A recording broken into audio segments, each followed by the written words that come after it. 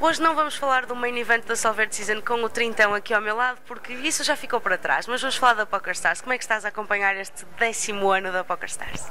Uh, não sei, não sei se vocês têm visto as promoções que a PokerStars fez, são brutais, né? para variar, mas acho que toda a gente já está à espera disso. Né? A PokerStars foi-nos habituando ao longo dos anos a um, fazer sempre grandes promoções e ideias novas e diferentes e isso tudo.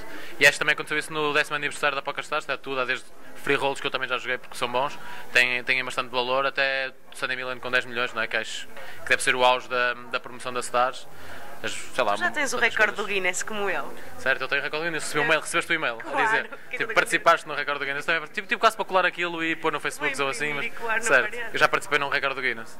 E agora vamos ter o Sunday Storm, que deve ser uma coisa gigantesca. Certo, Achas que vamos ter assim um balúrdio de jogadores? Ah, não faço a mínima ideia. O Sunday Storm, acho que nunca. Acho, nem sei se. Já joguei, joguei aquilo bastantes vezes, aliás, jogo quase todos os fins de semana no Sunday Storm, mas não sei se fiz alguma vez dinheiro naquilo, porque aquilo é um torneio enorme, cheio de jogadores, aquilo é uma pequena luta campal, acho eu, aquele torneio. Uh, por isso não sei como é que vai correr este, mas como estavas a dizer, aquilo vai ter não sei quantos jogadores, qual é que é o previsto? Pai, sei, mas ele normalmente 100, tem 20, 20 e tal mil agora. Mas é para aí 100 mil, deve ser para aí dentro dos 6 dígitos. Uh, e para mim o prémio vai ser enorme, apesar de ser um torneio de 11 dólares, não é? E agora vou, vou falar para o gordo. Diz. O ano passado tivemos, penso que foram cerca de 700 portugueses uh, no Sunday Million especial. Uh, o que é que achas que vamos ter este ano? 750.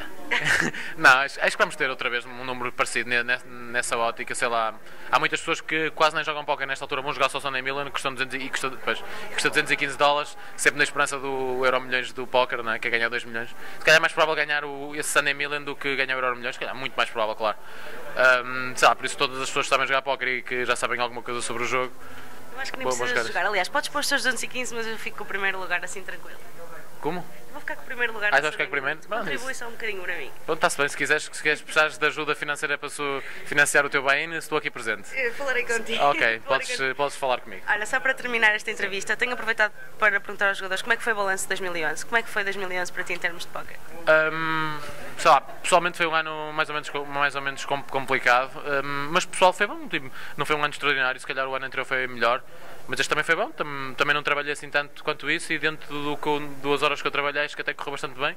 O final do ano está sempre muito bom para mim e para a sociedade toda lá do office. Por isso, quando ganham também ganham mais ou menos todos, assim uma coisa do género.